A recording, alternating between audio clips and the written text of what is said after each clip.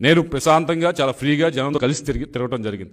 అలా తిరిగే మనిషికి మీరు అనవసరంగా ఇటువంటి ఆపాదించడం అనేది కరెక్ట్ అయిన విషయం కాదు. ఏదో ఒక కులానికో లేకపోతే ఒక మతానికో ఒక వర్గానికో నన్ను పరిచయం పరి పరిమితం చేయడానికి ఆ విధంగా ప్రజల్లోకి తీసుకువెళ్ళడానికి పల్నాడు ప్రజల్లోకి తీసుకువెళ్ళడానికి ప్రయత్నిస్తూ ఉన్నది. ఇది ముమ్మాటికి ముమ్మాటికి అవాస్తవం. దీన్ని పూర్తిగా సిట్టు వైపు నుంచి మీరు ఏదైతే విచారణ చేస్తా ఉన్నారో దయచేసి దీని లోతులోకి వెళ్ళండి. వెళ్ళి ఏ విధంగా అయినా నా వైపు నుంచి ఈ ఆఫీసర్ని ఏ ఆఫీసర్నైనా పైనుంచి కింద దాకా ప్రతి ఆఫీసర్ని మీరు క్షుణ్ణంగా మా వైపు నుంచి కాల్ డేటా ఇస్తాం. తప్పకుండా పరిశీలించండి. మేము కలిసిన వివరాలు అడిగితే తప్పకుండా ఇస్తాం. పరిశీలించండి. ఏ విధంగా అయినా ఇన్ఫ్లుయెన్స్ చేసామనంటే తప్పకుండా అది పబ్లిక్ డొమైన్లో పెట్టండి.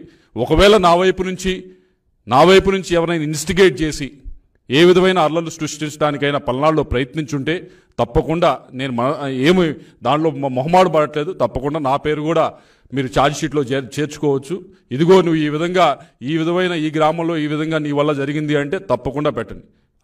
ఆన్ ద కాంట్రరీ ఆపోజిట్గా మీ అందరూ చూశారు. దొండపాడు అనే గ్రామంలో ఇన్స్టెడ్ ఆఫ్ అవతల వైపు కాకుండా నాపైనే ఆ రోజు అటాక్ జరగడం జరిగింది. నా వెహికల్స్ పైన ఆ రోజు అటాక్ అటాక్ జరగడం జరిగింది. నా కాన్వే వెహికల్స్ ఏదైతే మూడు వెహికల్స్ ఉన్నాయో అన్నీ కూడా పాల్గొట్టడం జరిగింది. ఆ రోజు అక్కడ ఉన్న పోలీస్ ఆఫీసర్లు కూడా వారేమి చేస్తూ ఉడిగినట్టు చూస్తూ ఉన్నారు.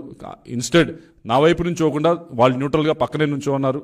కాబట్టి మీరందరూ కూడా దయచేసి ఇటువంటి దుష్ప్రచారాన్ని మానుకోవాలి అని చెప్పి కోరుతూ మరొకసారి సిట్టు వారిని దీన్ని క్షుణ్ణంగా పరిశీలించండి లోతులోకి వెళ్ళి పరిశీలించండి. నేను ఏదైతే చెప్తా ఉన్నానో ఒకటి ఏదో ఆ- రోజున్న ఎస్పీ గారికి మా ఫ్యామిలీకి ఉన్న ఏదో సంబంధాలు ఉన్నాయని ఏదో అపోహలు కలిగించు కథలు రాస్తూ ఈ ఐదు ఐదు రోజుల నుంచి కూడా మీరు సృష్టిస్తున్న కథలకి దయచేసి ఏదో తప్పకుండా వాటి లోతులోకి వెళ్ళి పరిశీలించి ఈ కథకి తెరదించాలని చెప్పి కోరుతా ఉన్నా.